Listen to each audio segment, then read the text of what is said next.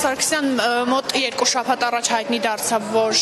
սոտքի հանքի հետ կապված խնդիր կա։ Այս պահին կարող եք ներկայացնել իրավիճակը այնտեղ, ինչպիսին է աշխատողները հարկադիր պարապուրդի են ուղարկվել կամ ընդհանրապես ինչ իրավիճակ է տիրում սոտքի հանք։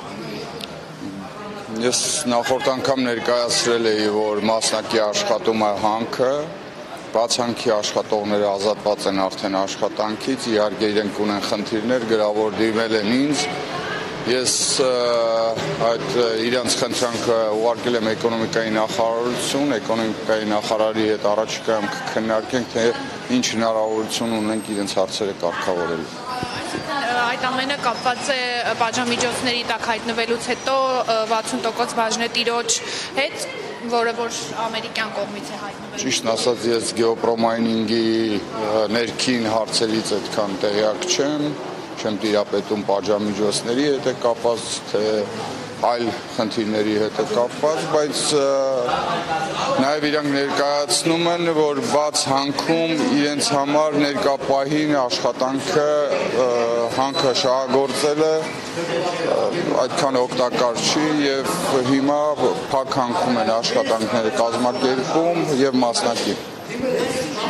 աշխատակիցները հնարավոր է այլ բարեվասիկ էկոնոմիկայի նախարարության հետ քննարկում եք իրենք տեղափոխվեն որպես այդպեսին այլ տեղ աշխատանք Շատ փոքր հատվածի աշխատանքի խնդիր լուծել ենք մենք մեր գործընկերների հետ համատեղ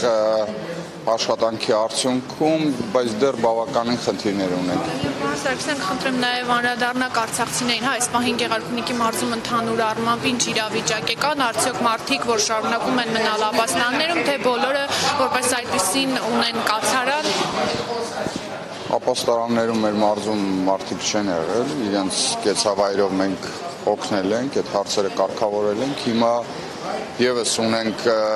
անձինք, ովքեր մնում են հյուրատանը, բայց իրենք ունեն հոգեկան խնդիրներ եւ սոցիալ նախարարության հետ միասին, նաեւ առողջապահության նախարարության հետ միասին այդ հարցերը եւս կարգավորում ենք։ Մնացած անձիկ վարձով են արդեն բնակարան գտել եւ մեր մարզում վարձով են ապրում։ Իսկ աշխատանքի տեղավորման հետ կապված շատեն են բողոքում, որ խնդիրներ ունեն ձեր մարզում, այդ խնդիրը ինչպես է փորձում լուծել։ Մենք ունենք նմանատիպ խնդիր եւս մեր մարզում, բայց բավականին լուծել ենք, մեր դպրոցներում ունենք աշխատանքի տեղավորած առողջապահական հիմնարկներում ունենք աշխատանքի տեղավորած, այնպես որ փորձում ենք հերթով այդ հարցերը կարգավորել։